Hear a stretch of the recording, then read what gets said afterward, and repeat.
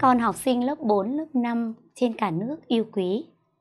Ở buổi ghi hình trước, cô Ngọc Lan đã hướng dẫn các con chuyên đề nước chảy vào bể. Với ví dụ đầu tiên đó là bài tập số 1. Bài học này của chúng mình còn được nâng cao hơn nữa với nhiều vòi nước cùng chảy vào bể và có những vòi lại tháo ra. Vậy thì chúng mình làm như thế nào? Tulia và cô Ngọc Lan mời các con xem tiếp ví dụ 2, đó là bài toán số 2 trong chuyên đề nước chảy vào bể. Bài toán số 2 của chúng mình sẽ có nội dung như thế nào? Các con cùng lắng nghe với cô Ngọc Lan nhé. Bài 2 Ở một cái bể có hai vòi A và B chảy vào. Vòi C tháo nước ra. Một mình vòi A chảy đầy bể sau 6 giờ. Một mình vòi B chảy đầy bể sau 5 giờ. Nếu bể đầy nước, mở vòi C thì sau 3 giờ bể cạn. Giả sử bể không có nước, mở ba vòi cùng một lúc, hỏi sau bao lâu bể đầy nước. Các con cùng nghe lại lần 2. Ở một cái bể nước có hai vòi A và B chảy vào. Vòi C tháo ra. Một mình vòi A chảy vào đầy bể sau 6 giờ. Một mình vòi B chảy vào đầy bể sau 5 giờ. Nếu bể đầy nước, mở vòi C thì 3 giờ bể cạn. Giả sử bể không có nước, mở ba vòi cùng một lúc thì sau bao lâu đầy bể? Ở bài 1 thì chúng mình chỉ có hai vòi nước, vòi 1 thì tháo ra, vòi 2 thì à vòi 1 thì chảy vào và vòi 2 thì tháo ra. Còn trong bài này thì chúng mình tới 3 vòi nước xuất hiện. Trong đó có hai vòi nước thì chảy vào, một vòi nước thì lại tháo ra. Vậy trong bao lâu cái bể nước đấy sẽ đầy nếu mà mình mở cả ba vòi? Là một yêu cầu mà cô trò mình phải tìm ra. Rõ ràng với bài này, các con thấy nó sẽ khó hơn ở bài trước một chút. Vậy nó khó hơn ở chỗ nào? Cô trò mình phải phân tích đã. Chúng ta cùng nhau tóm tắt xem bài toán số 2 họ cho chúng mình những dữ kiện nào và họ yêu cầu chúng mình đi tìm điều gì. Chúng mình cùng quan sát, tóm tắt với cô nhé. Bài toán cho biết một, bể nước có 3 vòi. Đây chính là vòi A. Đây là vòi B. Và đây là vòi C. Vòi A chính là vòi nước chảy vào. Vòi B cũng là vòi nước chảy vào. Chỉ có riêng vòi C này. Đó là vòi tháo ra. Vậy thì chúng mình sẽ cùng tìm hiểu lần lượt dữ kiện thứ nhất. Bài toán cho biết, vòi A chảy vào để đầy cái bể nước này. Các con xem sẽ hết mấy giờ nào. Vòi A cô cho chảy vào nhé. Để đầy cái bể nước này thì nó phải mất 6 giờ, nó mới đầy bể. Thế bây giờ còn vòi B thì sao? Các con cùng quan sát đến vòi B. Vòi B cũng là vòi chảy vào. Vậy vòi B chảy vào trong bao lâu thì đầy bể? Vòi B chảy vào đầy bể trong 5 giờ. Như vậy vòi B này chảy một mình thì 5 giờ sẽ đầy bể. Vòi C thì sao? Hai vòi này thì người ta chảy vào, nhưng vào vòi C thì lại tháo ra. Vậy ta sẽ có vòi C tháo ra. Đây, vòi C tháo ra. Trong bao lâu thì cái bể này cạn? Vòi C tháo ra trong 3 giờ thì cạn bể.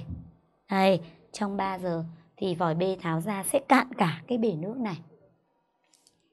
Như vậy thì mỗi một vòi có lượng chảy khác nhau. Vòi A và vòi B thì chảy vào, vòi C thì lại tháo nước ra. Bây giờ bài người ta cho chúng mình đủ 3 dữ kiện rồi này. Vòi A chảy vào 6 giờ đầy bể. Vòi B chảy vào 5 giờ đầy bể. Vòi C tháo ra 3 giờ thì bể sẽ cạn. Bài toán hỏi chúng mình điều gì? Bài toán hỏi là giả sử cái bể này không có nước. Bây giờ mở cả ba vòi cùng một lúc.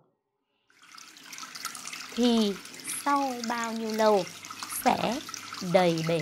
Tức là bao nhiêu giờ sẽ đầy bể? Đây chính là câu hỏi. Nếu ta mở liền cả ba vòi này cùng một lúc thì sau bao nhiêu lâu cái bể nước này sẽ đầy bể? Chính là câu hỏi cuối cùng của bài. Mở cả ba vòi, sau hỏi chấm giờ thì đầy bể. Các con đã nắm được nội dung của bài chưa? Cô phân tích rất là kỹ càng rồi đấy. Tóm tắt các con cũng nắm được rồi đấy. Vậy thì bây giờ cô trò chúng mình lại cùng nhau giải phần bài tập này nhé. Chúng mình sẽ cùng quan sát phần giải nào. Trước tiên ờ, vào phần giải thì cô nhắc lại phần tóm tắt một lần nữa. Vòi A chảy vào sau 6 giờ thì đầy bể. Vòi B chảy vào sau 5 giờ thì đầy bể. Và vòi C thì tháo ra trong 3 giờ thì cạn bể. Bây giờ mở cả ba vòi cùng một lúc với điều kiện là bể không có nước thì sau bao nhiêu lâu sẽ đầy bể?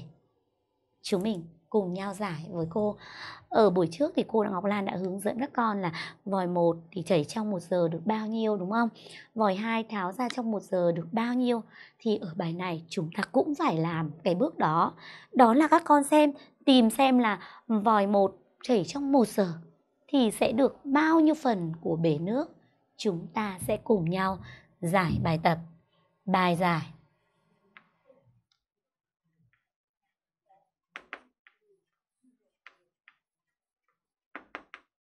Chúng mình sẽ quan sát vòi số 1. Đó là vòi A. Vòi A chảy đầy cái bể nước này thì phải mất 6 giờ. Vậy thì 1 giờ, nó sẽ chảy được bao nhiêu phần của bể nước? Chúng mình sẽ tìm trong 1 giờ.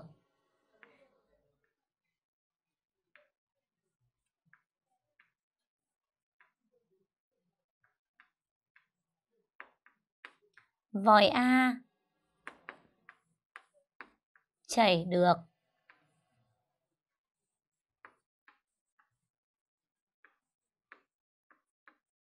vào bể là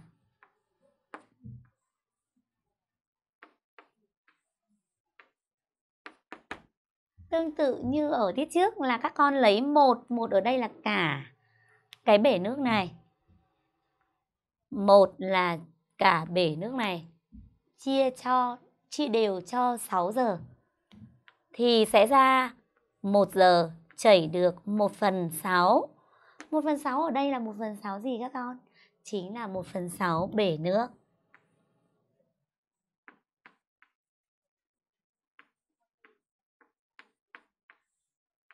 Và các con nhìn thấy đây, nếu vòi A nó chảy một mình thì trong 1 giờ nó chỉ chảy được 1 phần 6 của bể nước, tức là nó chỉ chảy được đoạn này thôi các con ạ. Và cả cái bể nước này chia thành 6 phần bằng nhau thì trong 1 giờ vòi A chỉ chảy được 1 phần 6 bể nước. Xong vòi A rồi nhá. Bây giờ chúng mình tìm hiểu đến vòi B. Vòi B trong 1 giờ sẽ theo các con sẽ chảy được bao nhiêu nào? Các bạn nào nghĩ ra chưa? Trong 1 giờ vòi B chảy được.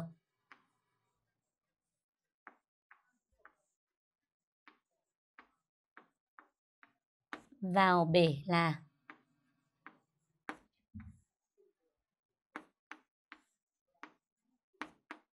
Bây giờ các con cùng quan sát vòi B. Bây giờ hai vòi A và vòi C thì không chảy chỉ riêng một mình vòi B thì chảy đầy bể nước trong 5 giờ. Vậy thì trong 1 giờ nó chảy được bao nhiêu phần của bể nước? Chính là câu hỏi mà chúng mình cùng phải trả lời. Đó là trong 1 giờ thì vòi B chảy được, ta lấy một là cả cái bể nước này. Chia cho 5 giờ đúng không nào? Vì nó chảy đầy bể trong 5 giờ, như vậy 1 giờ thì nó sẽ bằng 1 chia 5 bằng 1 phần 5 của bể nước.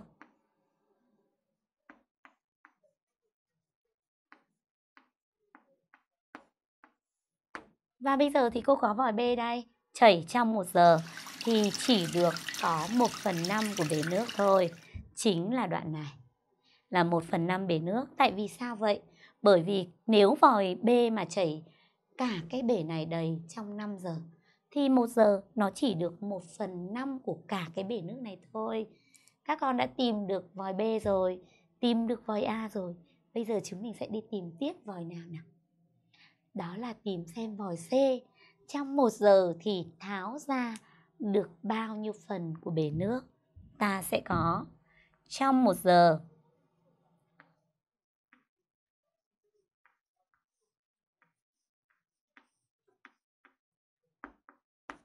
vòi B, vòi C cô xin lỗi. Vòi C tháo ra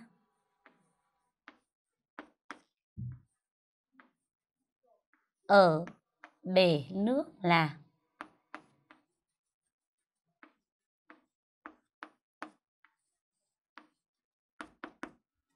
Đây, chúng mình sẽ quan sát vòi C tháo ra.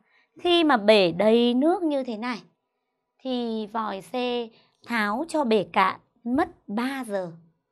Vậy thì 1 giờ nó sẽ cạn bớt đi bao nhiêu phần của bể nước? Chúng mình sẽ có phép tính.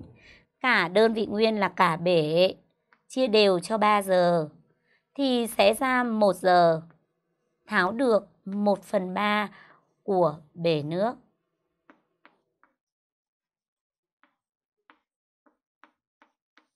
Các con quan sát vào đây và xem cô tháo vòi C. Như vậy, trong một giờ thì vòi C cô sẽ rút đi được 1 phần 3 của cái bể nước này. Vì sao vậy? Đó là để rút hết lượng nước này thì mất 3 giờ. Vậy trong một giờ thôi thì nó chỉ được 1 phần 3 của bể nước. Bây giờ các con đã thấy rồi nhá. Vòi 1 chảy trong một giờ được bao nhiêu? Vòi 2 chảy trong một giờ vào được bao nhiêu? Và vòi thứ ba là vòi C tháo ra trong một giờ được bao nhiêu? Chúng ta đều biết rồi. Vậy thì bây giờ nếu chúng ta mở cả ba vòi cùng một lúc, thì theo các con, trong một giờ cả ba vòi này cùng mở ra, thì hai vòi A và B chảy vào, đồng thời vòi C tháo ra, thì lượng nước giữ lại trong bể này sẽ là bao nhiêu? Chúng mình cùng tìm tiếp. Trong một giờ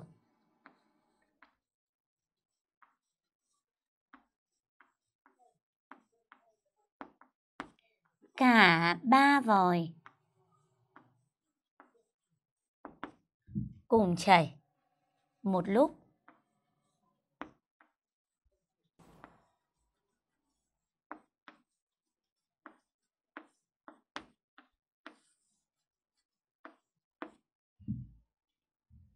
thì bể nước có là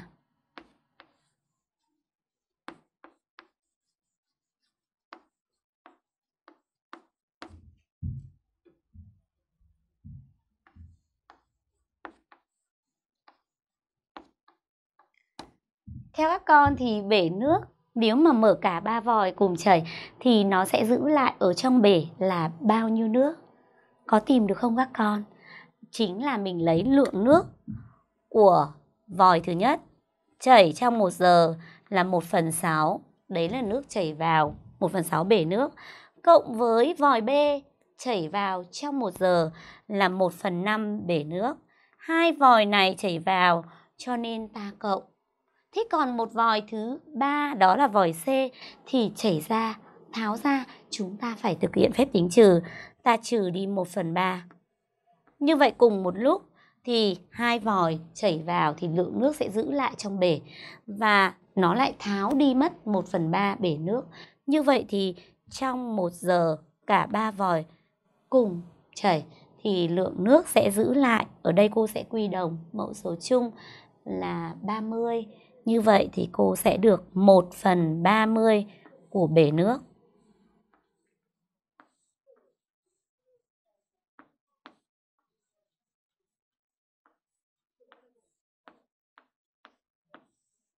Như vậy nếu trong một giờ cả ba vòi cùng mở một lúc thì cô chỉ thu được một lượng nước giữ lại trong bể. Đây các con cùng quan sát, cả ba vòi cùng chảy một lúc thì sau một giờ lượng nước ở trong bể chỉ giữ lại được 1 phần 30 bể nước. Và đến đây thì các con lại thấy chúng mình đưa về bài toán rút về đơn vị rồi. Chúng mình lại có giống như ở ví dụ trước, cô hướng dẫn các con, đó là 1 phần 30 của bể thì chảy trong là 1 giờ. Bây giờ cả bể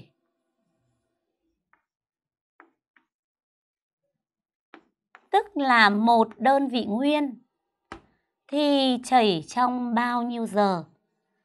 Các con có dễ dàng lại dựa vào bài toán rút về đơn vị để chúng mình làm không? Chúng mình sẽ lấy lượng nước của cả bể, chia cho lượng nước cho, có trong một giờ. Ta là sẽ lấy một, chia cho một phần 30 và ta dễ dàng tìm được là bể không có nước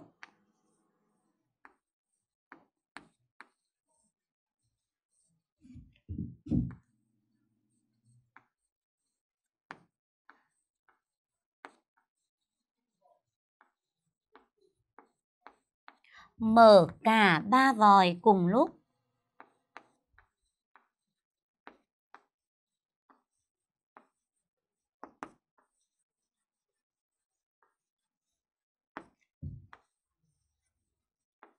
Thì thời gian chảy để đầy bể là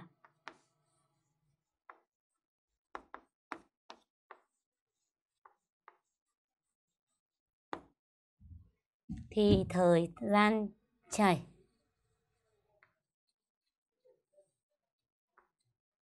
đầy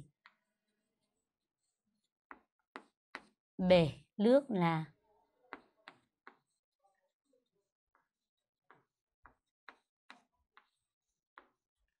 cô lấy một đơn vị nguyên, tức là cả bể nước.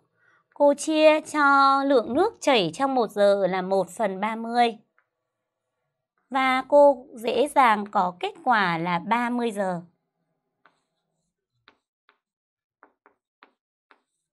Và bài toán của chúng mình đã được thực hiện. Cô đáp số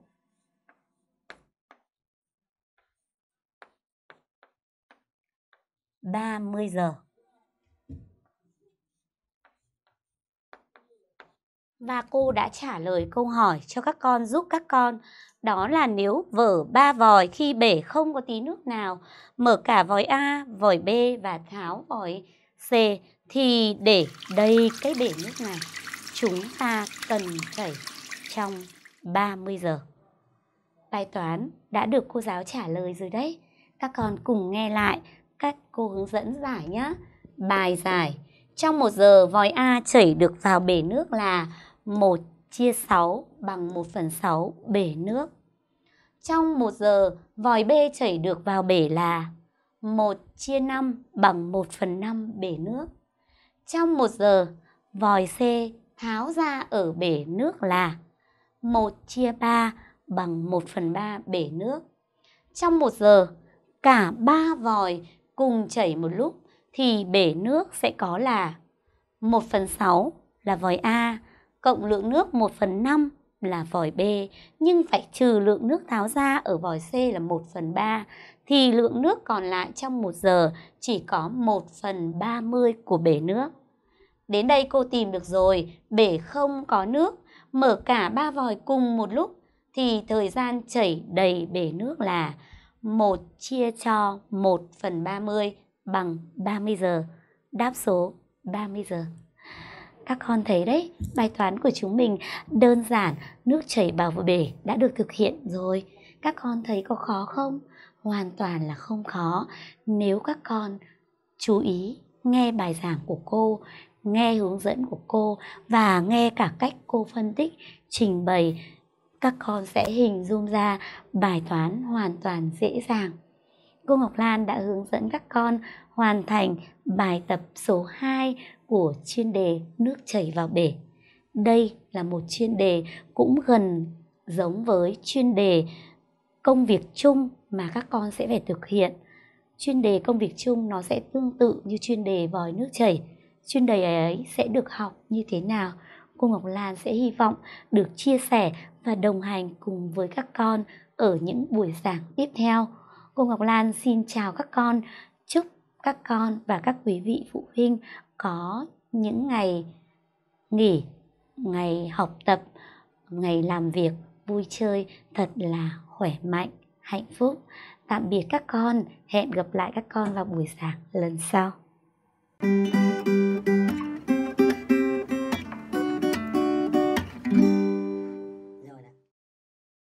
Cô chào các con. Chúng mình tiếp tục phần mở rộng vốn từ của lớp 5 với chủ điểm vì hạnh phúc con người. Trong những bài học, bài đọc về chủ điểm này, các con đã hiểu thêm về hạnh phúc.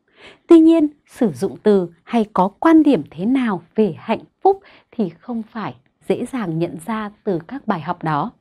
Và bài ngày hôm nay sẽ cung cấp cho các con điều ấy. Chúng ta sẽ cùng đến với bài mở rộng vốn từ hạnh phúc. Ở bài này, cô và Toliha sẽ giúp các con hiểu nghĩa của từ hạnh phúc. Các con sẽ tìm các từ đồng nghĩa, từ trái nghĩa với từ hạnh phúc. Và qua phần bài học, con sẽ có nhận thức đúng về hạnh phúc. Nào, chúng ta sẽ cùng bắt đầu phần bài học với phần thứ nhất, phần giải nghĩa nhé. Chúng ta sẽ cùng tìm hiểu qua bài số 1. Nối các từ ở cột A với các nghĩa được giải thích ở cột B cho phù hợp. Ta có các từ hạnh phúc, may mắn, tốt đẹp, phúc đức. Các từ này sẽ phù hợp với lời giải nghĩa nào sau đây? Điều tốt lành để lại cho con cháu do ăn ở tốt theo quan niệm truyền, truyền thống. Trạng thái sung sướng vì cảm thấy hoàn toàn đạt được ý nguyện. Điều tốt lành, tình cờ đến đúng lúc, được như mong muốn. Chúng ta cùng tìm hiểu nghĩa của các từ nhé. Trước hết, ta lựa chọn nghĩa của từ phúc đức.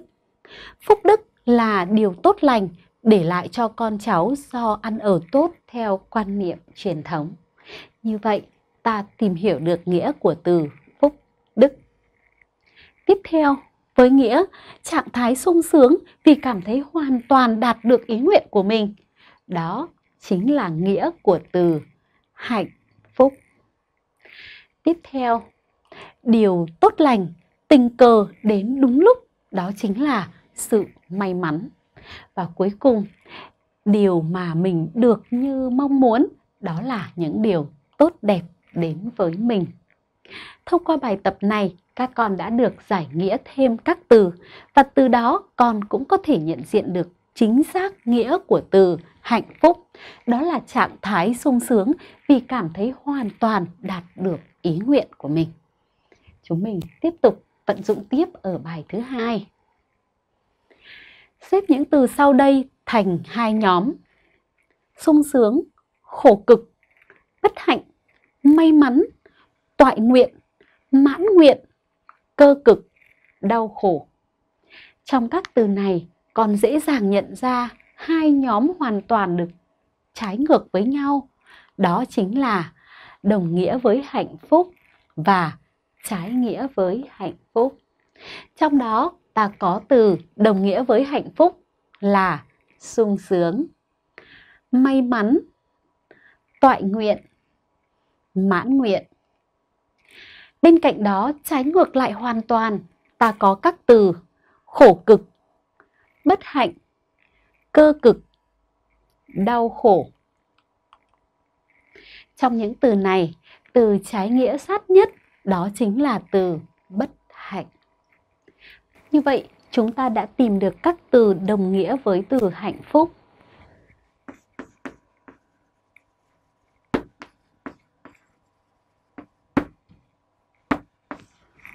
Đó là các từ sung sướng,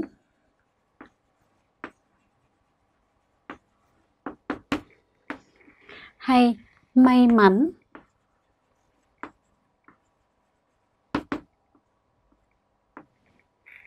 hoặc toại nguyện.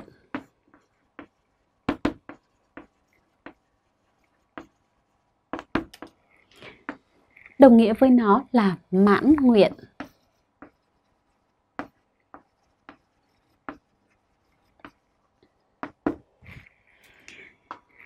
Như vậy, chúng ta vừa tìm hiểu nghĩa của từ hạnh phúc. Bây giờ chúng mình cùng sang tiếp phần luyện tập. Bài thứ nhất, nối tiếng phúc với những tiếng có thể ghép được để tạo thành từ. Nào, chúng mình cùng theo dõi phần từ mà đề bài cung cấp. Ta có các từ lợi, lộc, bình, đức, hạnh, trạch, hậu, tinh, hữu, thần, họa, vô, ấm. Chúng ta cùng ghép để tạo thành từ có tiếng phúc nhé. Chúng ta bắt đầu với từ đầu tiên. Phúc lợi. Đây chính là nguồn lợi mà mọi người cùng được hưởng chung.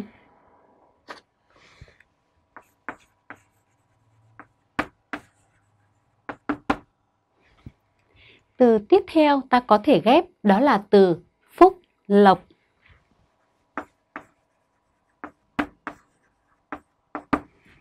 Ở đây ý muốn nói đến sự may mắn mà gia đình chúng ta được nhận. Từ bình không thể xếp được với từ này, ta bỏ qua. Tiếp theo, ta có thể chọn từ phúc, đức.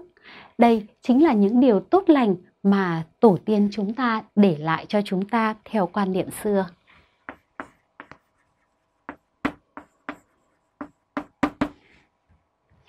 Từ hạnh ta có thể nối thành hạnh phúc.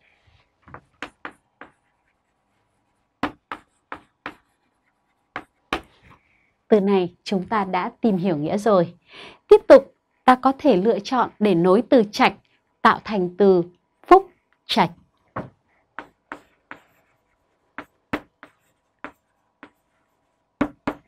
Phúc trạch là những điều tốt lành được hưởng từ tổ tiên ông bà để lại ta có thể nối từ phúc hậu.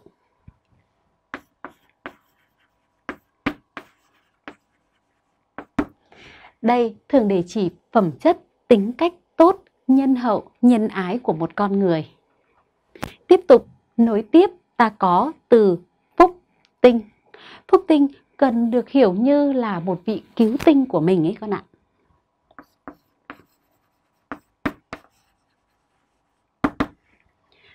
Từ hữu không thể ghép được với từ phúc. Tiếp tục với từ thần, ta có phúc thần, được hiểu như một vị thần may mắn mang lại điều tốt lành cho mình.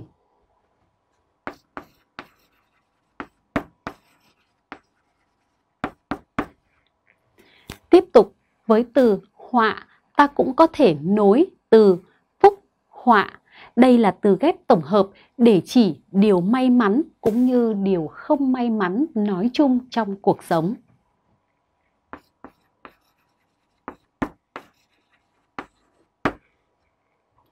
Tiếp theo, từ vô ta có thể ghép để tạo thành từ vô phúc.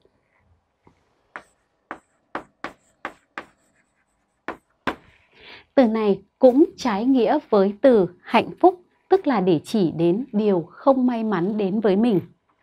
Từ ấm ta có thể kết lại thành từ phúc ấm. Từ phúc ấm giống nghĩa với từ phúc trạch, có nghĩa là những điều tốt lành mà tổ tiên để lại cho chúng ta.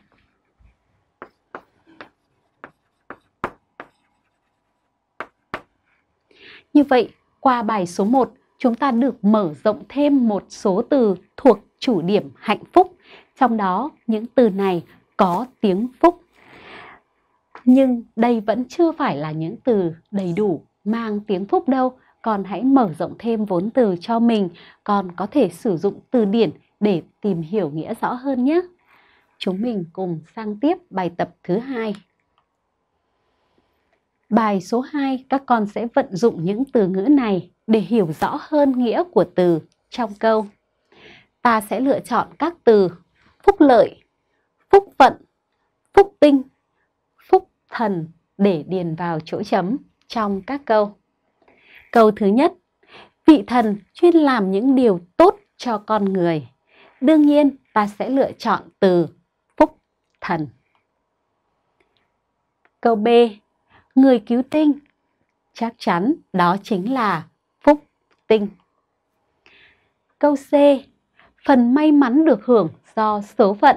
Trong số các từ này, đó chính là từ phúc phận, theo quan niệm của người xưa.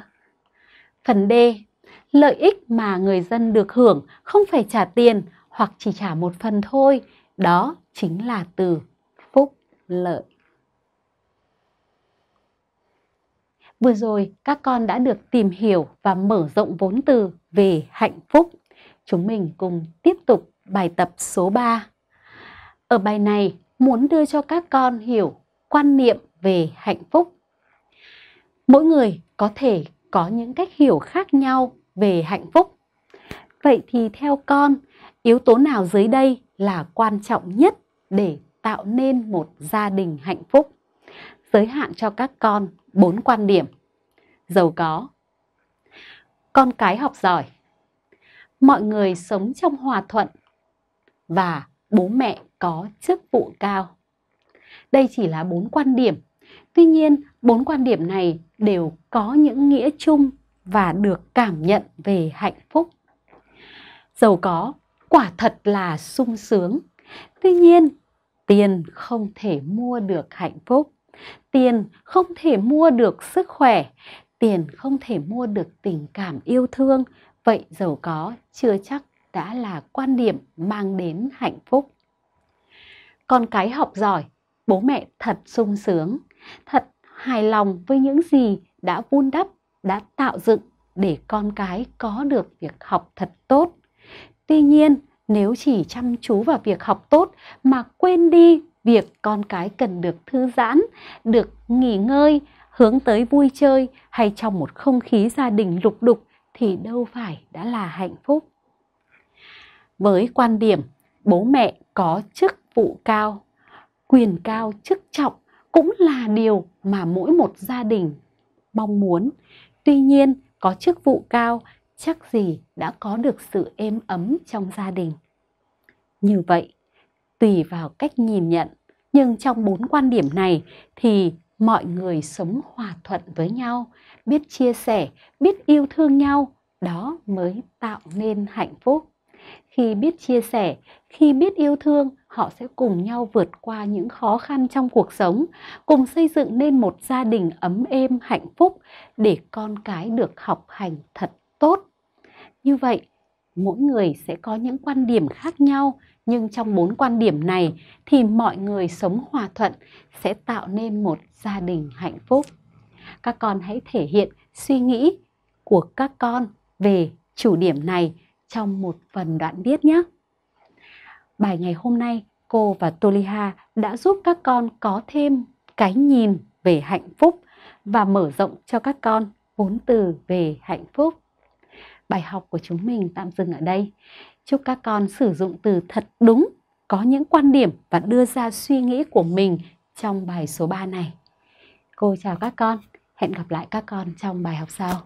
Thank you